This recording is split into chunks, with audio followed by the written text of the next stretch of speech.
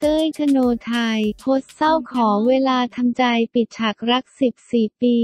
ซาร่าโฮเลอร์ กลายเป็นข่าวช็อกแฟนๆ ทั่วทั้งประเทศกันเลยทีเดียวสำหรับการออกมาโพสต์ข้อความปิดฉากความรัก 14 ปี ผ่านทางอินสตาแกรมสตอรี่โทเยตาโนของ ต้ย ธโนทัยเอื้ออมรรัตน์หวานใจของพิธีกรสาวอารมณ์ดีซาร่านลินโฮเลอร์ โดยข้อความดังที่ฝ่ายชายเขียนขึ้นนั้นเป็นการกล่าวถึงช่วงเวลายากลำบากที่ตนเองเหมือนต้องกลับมาเผชิญอีกครั้งในช่วงเวลาเดียวกันกับเมื่อปีที่แล้ว ซึ่งมีใจความว่า ปีที่แล้วเวลานี้ป้าเป็นมะเร็ง ปีนี้เวลานี้แฟนบอกเลิกขอทำใจก่อน ซึ่งหลังจากที่โพสต์ดังกล่าวของเต้ยธโนไทยถูกแชร์ออกไปก็มีแฟนๆ ที่ติดตามผลงานรวมถึงตามลุ้นตามเชียร์ความรักของทั้งคู่มา โดยตลอดเข้ามาแสดงความเห็น ทั้งในแง่ของการให้กำลังใจ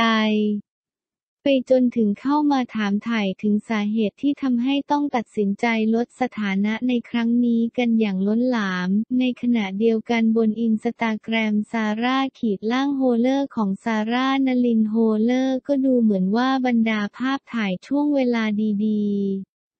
ที่เคยมีร่วมกันจะถูกลบออกไปจนหมดเกลี้ยง ปล่อยให้แฟนๆ ได้แต่สงสัยว่าเกิดอะไรขึ้นกับความรักของคนทั้งคู่ ทั้งทั้งเคยพัฒนาไปสู่การขอแต่งงานท่ามกลางบรรยากาศที่อบอุ่นและอบอวลไปด้วยความโรแมนติกมาแล้ว ซาร่า นลิน โดนจู่โจม เต้ย เซอร์ไพรส์ขอแต่งงานต่อหน้าสื่อ จากพิธีกรตีหล่อสู่ธุรกิจเพเต้ย ธโนทัย แฟนหนุ่มซาร่า AF สาม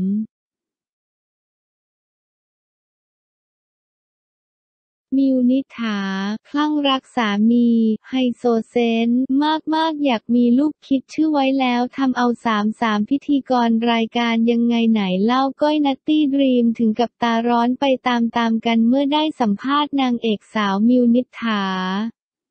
ตั้งแต่เริ่มไฮไลท์ของรายการที่มิวบอกว่าทุกวันนี้รู้สึกโชคดีที่ได้แต่งงานกับผู้ชายคนนี้ไม่เคยคิดว่าคิดผิดเลยที่เลือกเซนทราพุทธคูหาเปรมกิจมาเป็นสามี ซึ่งมิวบอกว่าคนอาจจะดูภายนอกว่าเป็นสาวหวานลุกเรียบร้อย แต่จริงๆตัวเองเป็นคนชิลๆสบายๆมากอาจจะมีติดนิสัยแมนๆด้วยซ้ำไป ซึ่งมิวได้เล่าว่าสเปคของมิวนั้นชอบคนตี ผิวขาวและถ้าถามว่าชอบดาราแบบคนไหน ถ้าพระเอกตัวท็อปสามคนก็มิวยกความหล่อให้เลยก็มีนเดชมาริโอและหมากปรินส่วนเรื่องนิสัยพอโตขึ้นมาก็ชอบผู้ชายที่มีความเป็นผู้นำที่เกียรตัดสินใจอยากเป็นคนตามบ้าง และในชีวิตที่มิวบอกว่ามีแฟนสองคน พี่เซนคือคนที่สองในชีวิตส่วนใหญ่แล้วจะมีแต่คนมาชอบก่อน ถ้าชอบก็จะคุยต่อให้เขาสามารถพูดคุยต่อได้ ถ้าไม่ชอบก็เว้นนานๆค่อยตอบเขาก็จะรู้โดยอัตโนมัติว่าเราไม่อยากคุยมิวบอกว่าคบกับพี่เซนมาหกปีแล้ว และไม่เคยทะเลาะกันเลย ซึ่งมิวบางทีเป็นคนน้อยใจแล้วก็หายเอง คือเขายังไม่รู้ตัวด้วยซ้ำว่าเราน้อยใจแล้วเราก็หายแล้ว และทุกวันนี้รู้สึกโชคดีที่ได้แต่งงานกับผู้ชายคนนี้ไม่เคยคิดว่าคิดผิดเลย เมื่อก่อนจะมีคำถามว่ามันต้องเป็นคนยังไงนะเราถึงจะยอมแต่งงานด้วย แต่พอมาเจอพี่เซนมันคือคำถามพวกนี้มันไม่มี มันออกมาจากหัวใจทำเอาก้อยถึงกับพูดออกมาว่าพี่ก็คลั่งรักเหมือนกันนะเนี่ย และมิวบอกว่าหลังแต่งงานแล้วก็อยากมีลูกอยู่แล้ว คิดชื่อลูกไว้เล่นเล่นกับพี่เซนแล้วด้วยว่าอยากจะให้ลูกชื่อเล่นเป็นตัว มอ เหมือนชื่อตัวเองและชื่อจริงก็ให้เป็นทะเหมือนชื่อพี่เซน และใจอยากได้ชื่อผู้หญิงหนึ่งผู้ชายหนึ่งเป็นใครมาก่อนก็ได้ แต่ว่ารอก่อนอยากทำงานอีกสักนิดหนึ่งแก๊งเฟอร์บี้ นัดรวมตัว สงกรานต์ลงรูปพร้อมหน้าเสิร์ฟความหวานเป็นคู่คู่เต้ามิ้นมิวเตยรวมตัวกันแดนสะบัดฝ่ายแฟนๆ นั่งมองจนขอเต้นตาม มิวนิษฐาพาทัวร์บ้านหลังใหม่สวยน่าอยู่มากสไตล์โมเดิร์น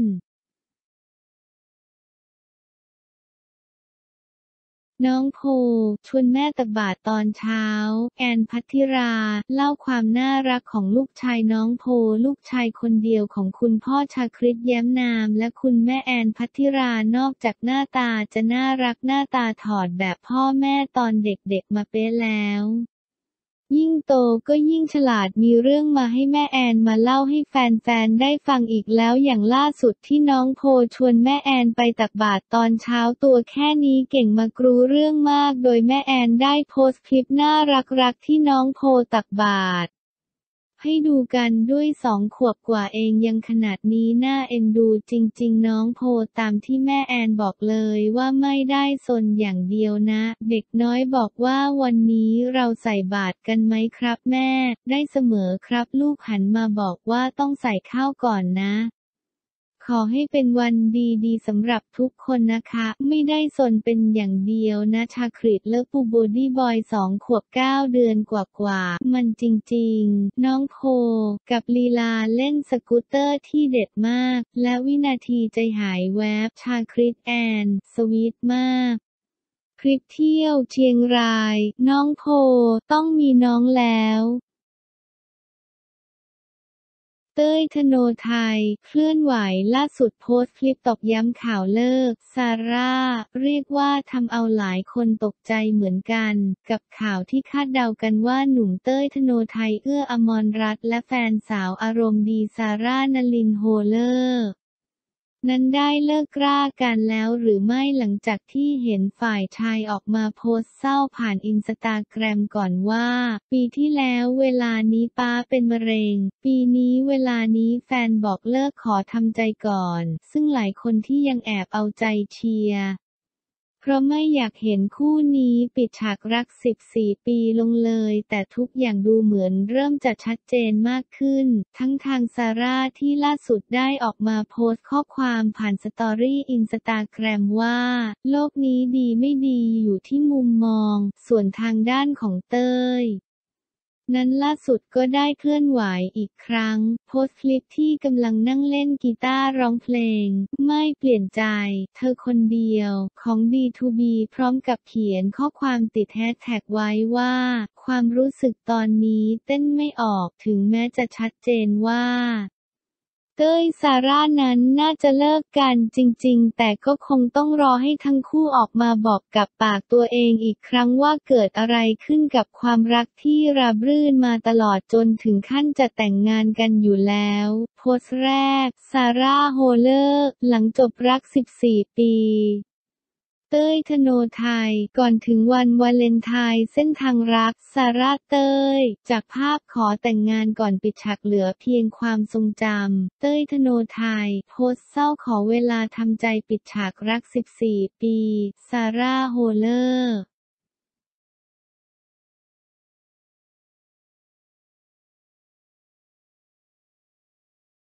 ทาทายังเปิดใจรักที่ต้องมูฟออนเผยร่างกายเคยต้องสู้กับหลายโรค ทาทายังเผยเรื่องความรักที่ต้องมูฟออนทำหน้าที่ของพ่อและแม่ของลูกให้ดีที่สุด ร่างกายเคยต้องต่อสู้กับหลายโรค หลังจากที่ได้ทาทายัง